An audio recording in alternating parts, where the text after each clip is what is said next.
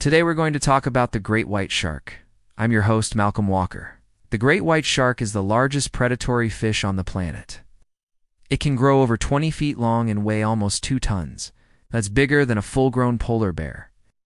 And even though it's not the biggest fish in the sea, it is definitely one of the scariest. Great whites are known to be aggressive and curious. They often attack boats and swimmers, sometimes just out of curiosity or playfulness but they're also responsible for the most shark attacks on humans. There are three times as many attacks from great whites than from any other kind of shark. Most shark attacks happen near the shore where people are swimming or surfing. That's because that's where the seals and sea lions are, which are the favorite foods of the great white sharks. There are lots of great white sharks around the world, but the largest population lives off the coast of South Africa.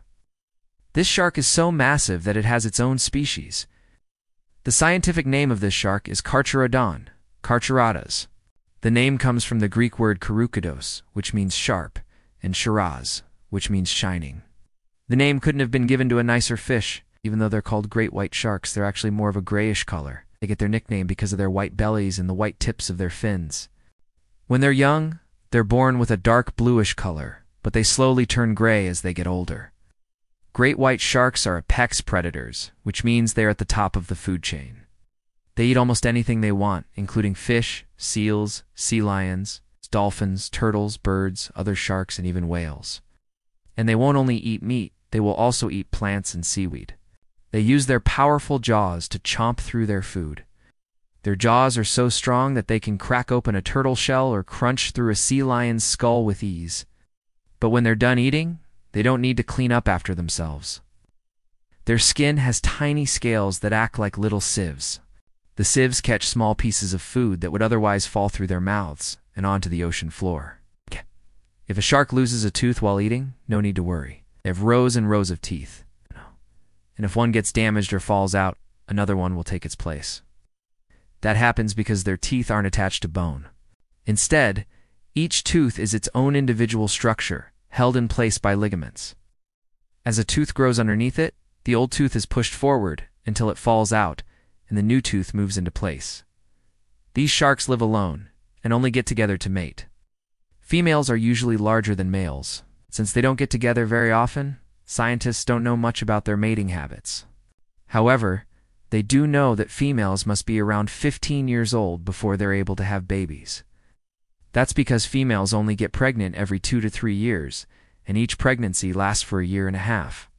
That's longer than the gestation period of any other mammal. When it's time to give birth, the mother gives birth to between two and five babies. Newborn sharks are anywhere from four to six feet long and are born fully developed. That means they can hunt, find food, and defend themselves right away. Although they're fully developed, they're still considered babies until they're about 13 feet long, which can take several years. Great white sharks are hunted by killer whales, but there isn't much else that will hunt them.